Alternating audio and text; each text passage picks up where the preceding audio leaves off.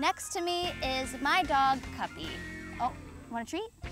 My best friend and my partner in crime.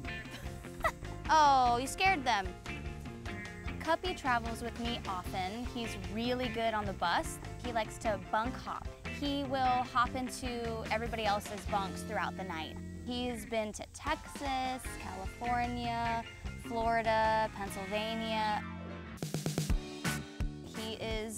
Definitely an attention seeker. If he's recognized at the dog park here in Nashville, it's not because he's my dog, it's because they found him on Instagram. Don't be afraid to come up to this celebrity. He's, he's ready for it. Dear Cuppy, Ever since you drooled all over my parka in the parking lot in Knoxville in December of 2016, I knew I was meant to be your mom. I wouldn't trade your toots, burps, or never-ending appetite for anything in the world. I never stopped being obsessed with you and your smooshy face. I love that I can still be surprised by the noises that come out of your mouth. Whether it's whines of frustration when I won't give, am I boring you? This is a sentimental letter.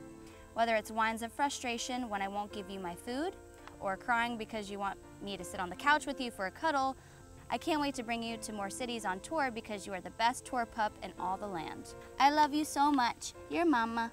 You're just a good boy. I meant every word.